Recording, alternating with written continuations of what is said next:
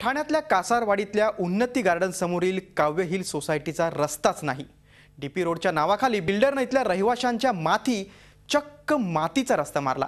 एकाच पावसात हा रस्ता वाहून गेल्यानं गेल्या दीड वर्षांपासून तिथले रहिवासी चांगला रस्ता मिळावा यासाठी बिल्डर स्थानिक नगरसेवक आणि पालिकेकडे खेटे घालतायत. मात्र आता त्यांच्या प्रश्नाकडे लक्ष द्यायला ना बिल्डरला वेळ होता ना स्थानिक नगरसेवकांना ना पालिका प्रशासनाला. अखेर स्थानिकांनी आपली समस्या मांडली ती झी हेल्पलाईनकडे. ही आहे ठाण्यातील काव्य हिल सोसायटी. सध्या रस्त्यांवरील खड्ड्यांमुळे ठाणेकर पुरते बेजार झालेत. मात्र काव्य हिल सोसायटीतली समस्या याहूनही भयानक अशीच म्हणावी लागेल. कारण काव्य हिल सोसायटीतला हा रस्ता पाहिला तर हा रस्ता ठाण्यातला आहे की खैबर खिंडीतला असाच प्रश्न पडतो. नऊ मजल्याच्या इमारती असणाऱ्या या सोसायटीत बासष्ट कुटुंब राहतात. मात्र त्यांना ये जा करण्यासाठी जो रस्ता देण्यात आलाय तो हा असा. ही वसाहत उभारताना इथं घर घेणाऱ्या रहिवाशांना बिल्डरनं अनेक आश्वासनं दिली. त्यात पथदिव्यांनी सुसज्ज असा डीपी रोड असेल असंही नमूद करण्यात आलं.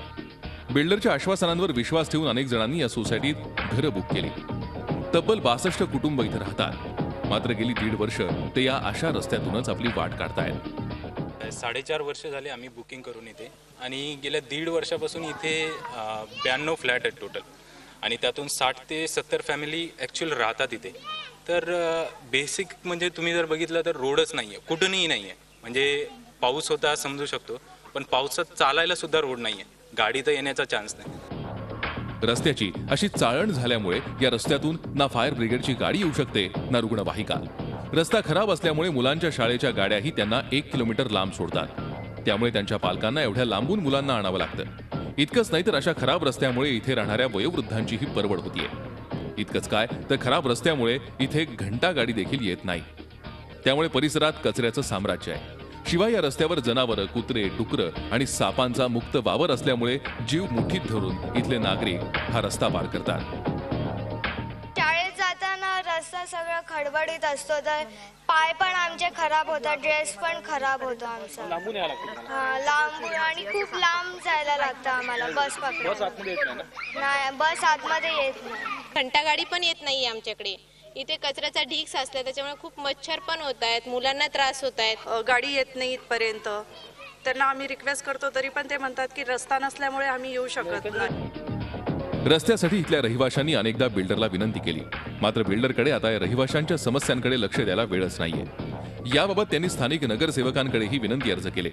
महानगरपालिकेतही अनेकदा तक्रारी केल्या मात्र कोणीही त्यांच्या तक्रारींकडे लक्ष देईना. अखेर वैतागलेल्या रहिवाशांनी अखेरचा पर्याय म्हणून झी हेल्पलाईन मार्फत आपल्या समस्यांना वाचा फोडायचं ठरवलं. हा एक आम्ही एक ब्रह्मास्त्र म्हणून आम्ही वापरणार आहोत. जी हेल्पलाईनकडे आलोत आम्ही जे काही वेबसाईटवर बघितलं किंवा आम्हाला जे कळालं थोडक्यात आमच्या बुद्धीप्रमाणे आम्ही जी हेल्पलाईनला कॉन्टॅक्ट केला आणि तुम्ही लोक आलात तर आम्हाला तुमच्या माध्यमातून टी एम सी ऑफिशियल्स किंवा आमचे बिल्डर म्हणा किंवा आमचे कॉर्पोरेटर म्हणा कोणीतरी आम्हाला मदत करावी या उद्देशाने म्हणून आम्ही तुमच्या झी हेल्पलाईनकडे आलो आहोत. हेल्पलाईनकडे या रहिवाशांनी संपर्क साधला आणि झी हेल्पलाईनच्या टीमनं गाठली काव्य हिल सोसायटी इथल्या नागरिकांची समस्या झी हेल्पलाईनच्या प्रतिनिधींनी समजून घेतली. त्यानंतर आमच्या प्रतिनिधींनी गाठलं थेट ठाण्याच्या आयुक्तांना. गेली दीड वर्ष इथल्या रहिवाशांना होणारा मनस्ताप आणि रस्त्याअभावी त्यांची होणारी परवड झी हेल्पलाईनच्या प्रतिनिधींनी उपायुक्तांसमोर मांडली. बिल्डर स्थानिक नगरसेवक आणि पालिका प्रशासन हे या नागरिकांच्या मूलभूत सुविधांकडे कसं दुर्लक्ष करतायत हे देखील आमच्या प्रतिनिधींनी उपायुक्तांना सांगितलं. उपायुक्तांनी ताबडतोब या प्रकरणाची चौकशी करून काव्य हिल सोसायटीतल्या नागरिकांचा प्रश्न निकाली काढण्याचं आश्वासन दिलं. जर महापालिकेची जबाबदारी असेल तर दीड वर्ष काव्य हिल सोसायटीतले नागरिक त्यांच्या हक्कांसाठी मदत मागत होते. मात्र त्यांचा आवाज प्रशासनापर्यंत पोहोचतच नव्हता. मात्र आता झी हेल्पलाईननं पालिका प्रशासनाला खडबडून जागा केलाय. आता जोपर्यंत काव्य हिल सोसायटीतल्या रहिवाशांना हक्काचा रस्ता उपलब्ध होत नाही तोपर्यंत झी हेल्पलाईनची टीम पालिका प्रशासनाला स्वस्थ बसू देणार नाही. कारण सवाल या नागरिकांच्या हक्काचा आहे. Kapil Raut Zee media Thane. ठाण्यानंतर आता वळूया जळगाव जिल्ह्याकडे. कुंभारी हे गाव वसलंय वाघूर नदीकाठी. पस्तीस वर्षांपूर्वी या गावाला पूरग्रस्त गाव म्हणून जाहीर केलं. मात्र आस्था गायत या गावाची सरकार दरबारी उपेक्षाच होते. या गावाला जोडण्यासाठी अजून धड रस्ताही नाही.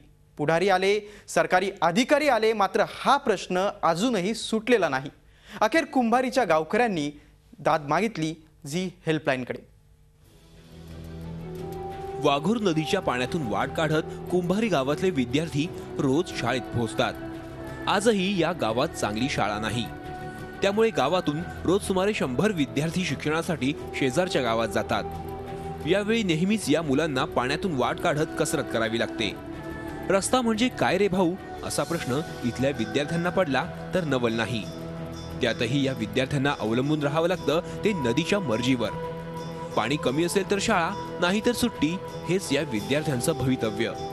या अस्थिरतेला कंटाळून मुलाबाळांच्या शिक्षणाची आबाळ होऊ नये यासाठी अनेकांनी गावातून शहरात स्थायिक होण्याचा निर्णय घेतला.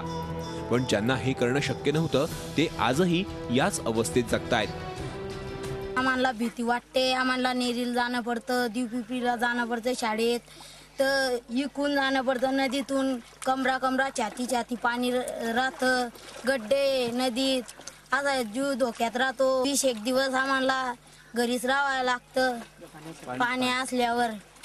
आम्हाला रोज नदीतून जावं लागतं. मोठालं पाणी लई पाणी लागतं मांड्या मांड्या उतरायला जात नाही. जर शाळेत नाही गेलं तर अभ्यास कमी होतो. सरांनी सांगावं लागतं की बुवा शाळेत का नाही आले? तर नदीचं पाणी सांगलं तर सर मारता नाही बुवा असं तरी आमचा अभ्यास लई बुडतो. बाकीची मुलं शिकतात. आम्हाला खूप मागे पडतात. मग आम्हाला अभ्यासात बी आणि त्याच्यात बी. तर खोलीचं भाडं दोन हजार रुपये. ओ इथं वरचा खर्च दोन हजार रुपये असे चार हजार रुपये आम्ही दरमहा खर्च करतोय. मुलांना जाण्या येण्यासाठी पाण्यातून नायलाज आहे. हे बाकीचं सगळ्या मुलांसाठी बहुत शिक सहन नाही होऊ शकत. तर सगळेच पालक असं करू शकत नाही. याच्यासाठी आम्हाला काहीतरी व्यवस्था झाली पाहिजे. जेणेकरून आमच्या गावातला एकही मुलगा नाही आहे की तो उच्च अधिकारी किंवा पदावर गेलेला. सगळे इथं ग्रामीण व शेती व्यवसाय मजुरी करून पडू नये शिक्षणाअभावी ह्याच्यासाठी आम्हाला पूल आवश्यकता आहे. पुलाची गरज आहे किंवा तिकडनं पक्का रस्ता तरी पाहिजे. सुमारे तीनशे पंच्याहत्तर लोकवस्तीच्या गावातल्या लोकांचा प्रमुख व्यवसाय शेती. शासनानं हे गाव पूरग्रस्त म्हणून जाहीर करत पुनर्वसनासाठी शेजारच्या देवपिंपरी गावाजवळ पर्यायी जागा दिली. राहायला जागा दिली असली तरी इथं घरं बांधणार तरी कशी? कारण दळणवळणासाठी रस्ताच नाही. तसंच गावकऱ्यांची शेती नदीपलीकडे असल्यानं शेती कसण्यासाठी गावाकडे जावंच लागणार. त्यामुळे पुनर्वसनापेक्षा नदीवरच पूल बांधावा किंवा रस्ता तरी द्यावा अशी मागणी गावकरी करतायत. अधिकारी लोकांना निवेदन देऊन राज पुढाऱ्यांना निवेदन देऊन ते काहीच नाही वाणीच ते उडवाउडवीचे उत्तर देऊन आमची समस्या सोडवू असे आश्वासन देता.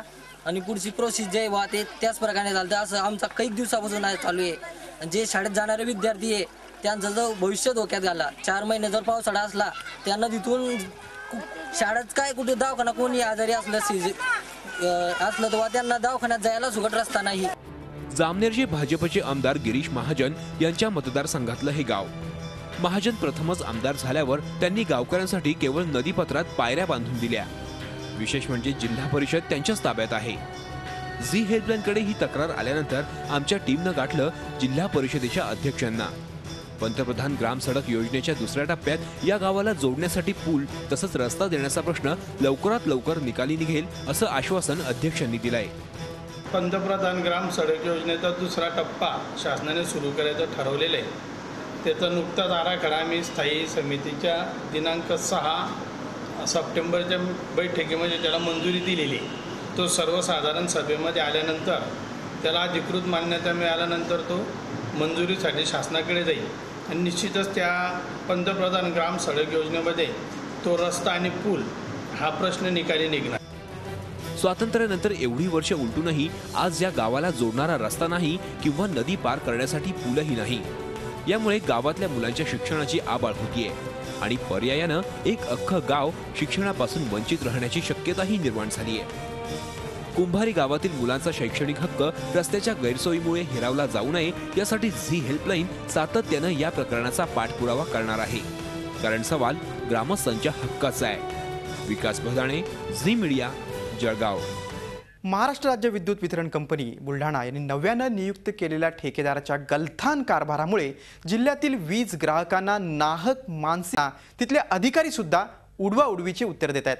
अखेर या त्रस्त ग्राहकांनी पर्याय स्वीकारला झी हेल्पलाईनचा आणि आपल्यावरील अन्यायाला वाचा फोडली. महाराष्ट्र राज्य विद्युत महामंडळाचं रूपांतर वितरण कंपनीमध्ये झाल्यानंतर महाराष्ट्र राज्य विद्युत वितरण कंपनीनं वीज चोरी आणि वीज गळती होऊ नये म्हणून अनेक बदल केले. त्यानुसार इलेक्ट्रॉनिक मीटर बसवून त्याच्या रिडिंगचे फोटो बिलावर छापून अधिक पारदर्शक बिल देण्याचा प्रयत्न कंपनी करते यासाठी कंपनीने विभागवार ठेकेदारांची नियुक्ती केली आहे बुलढाणा जिल्ह्यातील बुलढाणा आणि खामगाव विभागाचा ठेका अक्षत इलेक्ट्रिकल खामगाव या कंपनीला देण्यात आलाय. करारानुसार या एजन्सीनं या दोन्ही विभागातील एक लाख बत्तीस हजार वीज ग्राहकांच्या मीटरचे फोटो काढून त्यांना योग्य ते बिल वेळेच्या आत देणं बंधनकारक आहे. मात्र या एजन्सीनं पन्नास टक्क्यांहून अधिक ग्राहकांच्या मीटरचे फोटो न काढताच त्यांना सरासरी बिलं दिली. अव्वाच्या सव्वा आलेली बिलं दुरुस्त करून मिळावीत यासाठी ग्राहक वीज वितरण कंपनी कार्यालयाच्या चक्रा मारत होते. आणि वीज वितरण कंपनीचे कर्मचारी मात्र त्यांना उडवा उडवीची उत्तरं देत होते. संबंधित कंत्राटदाराने फोटो न घेता जुन्या गावातील जवळपास दीड ते दोन हजार मीटर रेडिंगची बिले न घेता त्यांना अव सव्वा बिले दिलेली. आणि आम्ही जर बिल कमी करा आलो कार्यालयात तर कार्यालय म्हणतात ऑफिसर म्हणतात की बुवा जसं वायरमनचा रिपोर्ट आला. आता आम्ही वायरमनला पाहायला गेलो की वायरमन नसतो. अक्षत एजन्सीचा भोंगळ कारभार एवढ्यावरच थांबला नाही. वेळेवर बिल वाटप न केल्यानं वेळेच्या आत बिल भरू न शकलेल्या वीज ग्राहकांना आता या पुढच्या बिलात विलंब आकार द्यावा लागणार आहे. त्यामुळे नियमित बिल भरणाऱ्या ग्राहकांना नाहक भूर्दंड सहन करावा लागणार आहे. महिना महिना दोन दोन महिने रिडिंगही घेतले जात नाही. त्यामुळे ओव्हर ॲव्हरेज बिल येऊन जातं. हे संबंधित वितरण कंपनींनी संबंधित ठेकेदारांना सुचवावं किंवा हे जे विलंब आकार होतो हा संबंधित ठेकेदाराकडून महावितरण कंपनींनी वसूल करावा अशी आमची मागणी आहे. याबाबत अनेक वेळा विचारणा करूनही कोणताही प्रतिसाद मिळत नव्हता. अखेर त्रस्त ग्राहकांनी झी हेल्पलाईनशी संपर्क साधला. हेल्पलाईनच्या टीमनं वास्तव काय आहे हे जाणून घेत गाठलं चिखली येथील वीज वितरण कंपनीचे अभियंता व्ही व्ही यादव यांना. यावर यादव यांनी ही चूक शंभर टक्के ठेकेदाराची असून हा ठेका कार्यकारी अभियंत्यानं दिल्याचं सांगितलं. या संदर्भात वरिष्ठ अधिकाऱ्यांना कळवलं असून ठेकेदाराकडेही या गैरकारभाराची विचारणा केली असल्याचं त्यांनी सांगितलं.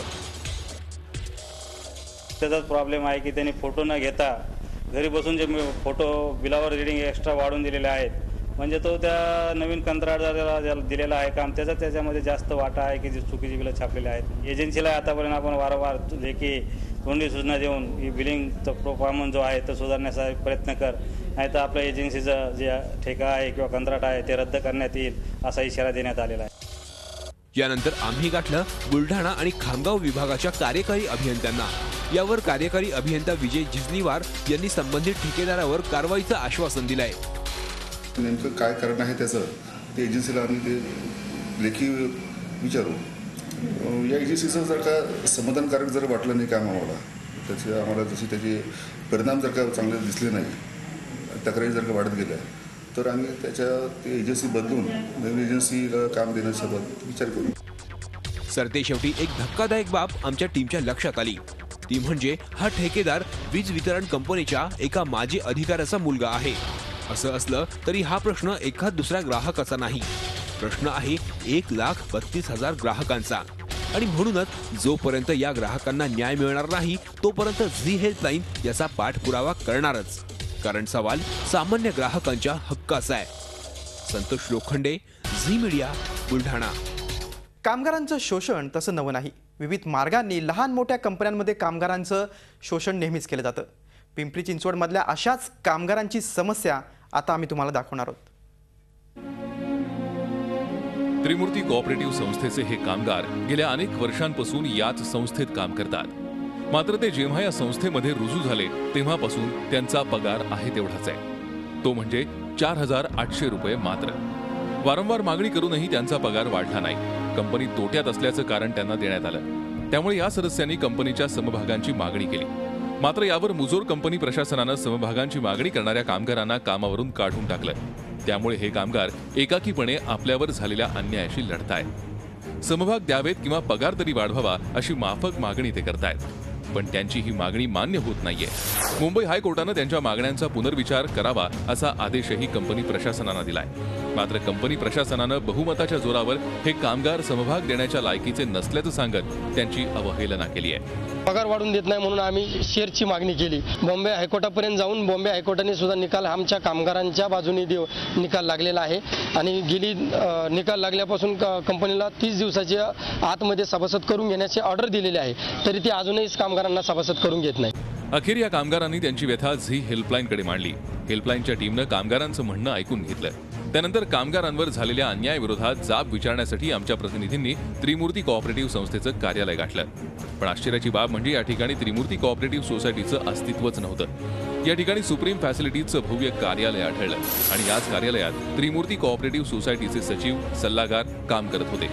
आम्ही त्यांच्या पुढे कामगारांची समस्या मांडली. त्यावर त्यांनी तांत्रिक उत्तर देत आम्हीच कसं बरोबर आहोत हे सांगण्याचा प्रयत्न केला. मिनिमम वेजेस ॲक्टनुसार आम्ही प्रॉपर त्यांच्याकडनं रायटिंगमध्ये घेतलेले. त्यामध्ये फक्त हे एकच असे होते की ज्यांनी साईन नाही केलेले ॲग्रीमेंटवर म्हणून आम्ही त्यांना पेमेंट वगैरे राईज नाही करून दिले कोऑपरेटिव्हचे रूल्स आहेत. त्यामध्ये मेंबरशिप करून घेण्याबद्दल आणि न करून घेण्याबद्दल त्यांनी काहीतरी नियमावली दिली. त्याला अनुसरूनच ही ॲक्शन घेतलेली आहे. कंपनीचे सल्लागार आणि सचिवांनी जरी कंपनीची बाजू आमच्यासमोर मांडली असली तरी कंपनीत काम करणाऱ्या कामगारांवर अन्याय झाला होता हे तर उघड होतं. त्यामुळे हेल्पलाईनच्या टीमनं या मुद्द्यावर सचिव आणि सल्लागारांना थेट सवाल विचारला. अखेरीस नरमलेल्या सचिव आणि सल्लागारांनी या कर्मचाऱ्यांच्या मागण्यांचा पुनर्विचार करण्याचं आश्वासन झी हेल्पलाईनला दिलं. कंपनी प्रशासनाकडून आश्वासन तर मिळालंय मात्र जोपर्यंत कंपनी प्रशासन या कर्मचाऱ्यांना कामावर पुन्हा रुजू करणार नाही आणि कर्मचाऱ्यांना योग्य मोबदला देणार नाही तोपर्यंत झी हेल्पलाईन याचा पाठपुरावा करतच राहील. कारण सवाल या कर्मचाऱ्यांच्या हक्काचा आहे. झी मीडियासाठी कैलासपुरी पिंपरी चिंचवड. झी हेल्पलाईन सवाल हक्काचा या विशेष कार्यक्रमात इथेच थांबतोय. पुन्हा भेटणार आहोत तुमच्या समस्या सोडवण्यासाठी तुमच्या न्याय हक्कांसाठी. ताज्या बातम्यांसाठी पाहत राहा झी चोवीस तास एक पाऊल पुढे. झी चोवीस तास एक पाऊल पुढे.